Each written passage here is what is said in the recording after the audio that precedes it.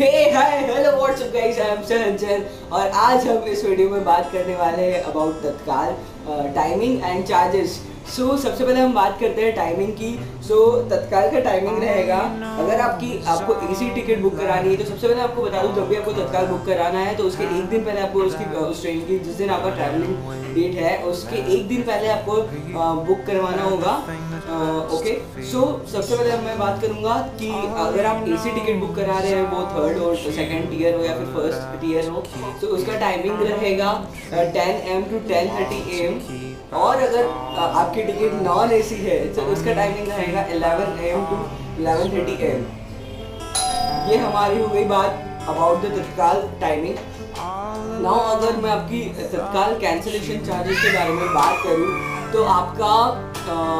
तत्काल का अगर आपका टिकट लाइक अगर कंफर्म हो गया है और अगर उसे आप कैंसिल करते हैं सो आपको उसमें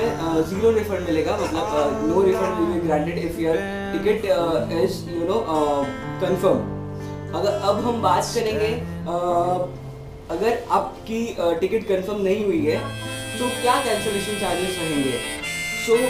अगर आप अपनी ट्रैवल डेट से 48 आवर्स बिफोर कैंसिल कराते हैं सो आपका फ़र्स्ट ईयर का कैंसिलेशन चार्जेस रहेगा two forty rupees plus G S T per passenger और सेकेंड ईयर का, आपका सेकेंड ईयर का चार्जेस रहेगा, दस मिनट सेकेंड ईयर का चार्जेस रहेगा two hundred rupees plus G S T और थर्ड ईयर का चार्जेस रहेगा one eighty rupees plus GST और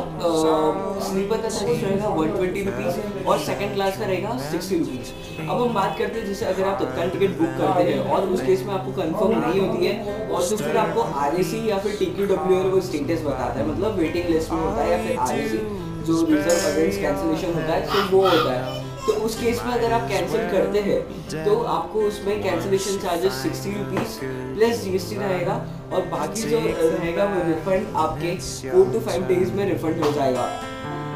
सो uh, ये था uh, हमारा cancellation charges about the RAC और टीक्यू अगर आप अपनी ट्रेन की टिकट कैंसिल कराते हैं within 48 hours but but before 12 hours of schedule departure of train so so, आपका कैंसिलेशन चार्जेस रहेगा 25 परसेंट आपका फेयर का। Okay okay. और अगर आप 12 घंटे के अंदर लेस देन 12 आवर्स और